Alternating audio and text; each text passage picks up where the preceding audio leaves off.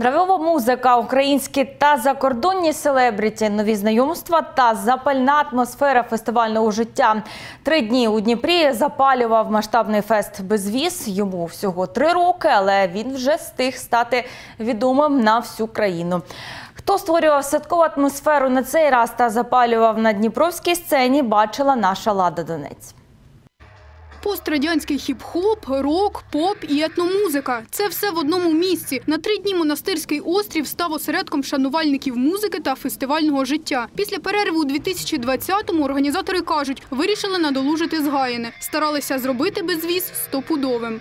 Такий фестиваль, в якому немає якихось обмежень по жанрах або якісь е, можливо обмеження взагалі там в одягу, в ну тобто просто хочеться щось таке, щоб е, всім було комфортно, всі знаходили тут друзів, кожного року збирались і е, тусувались всі три дні і три ночі. Два місяці назад, три місяці назад взагалі ніхто не говорив про фестивалі, і всі звикли вже настільки до онлайн, що забулися, як це один одного потрогати, обійняти, послухати музику з натовпу. На фестиваль у Дніпрі люди завітали з різних регіонів. Дмитро приїхав з Харкова. Каже, на безвізі вперше і від нього в захваті. Здесь небольшая территория, и когда ходишь, очень много артистов, э, и не обязательно даже ждать, ждать автограф-сессии, можно сразу подойти и пообщаться. И Есть э, группы э, фестивальщиков, которые ездят э, из года в год, э, и э, вчера у нас э, были чудесные посиделки возле костра, песни, гитара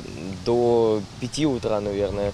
Просто ушел раньше, вот, но это было атмосферно. Дмитро, як і інші гості фесту, три дні провів у наметовому містечку. Організатори кажуть, на території кемпінгу було понад півсотні наметів. Територію містечка огородили, поставили душ, вбиральні та облаштували пункти живлення для девайсів. Класно.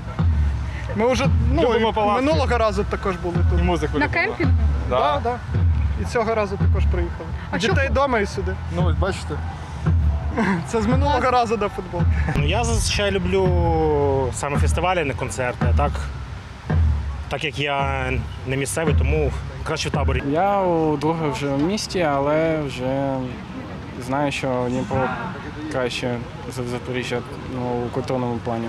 Більшість виконавців фестивалю з Дніпром знайомі вже давно. Зокрема, гурт Жадан і собаки вперше приїхав до нас ще у 2008-му. І відтоді, кажуть музиканти, у місті над Дніпром часті гості. Лідер гурту Сергій Жадан переконаний, музика то велика сила. Музика, безперечно, я, я би сказав, культура, звичайно, може об'єднати країну, тому що ну очевидно, наша країна, яка є така доволі складною, доволі е, парадоксальною в чомусь, е, яка має такий складний історичний бекграунд, її об'єднує об'єднують речі, які побудовані е, на чомусь. е, на чомусь оптимістичному, на чомусь доволі таки загальному. За музику як об'єднуючу і народний артист Павло Зібров. Каже, після його пісень навіть тікають зайві кілограми.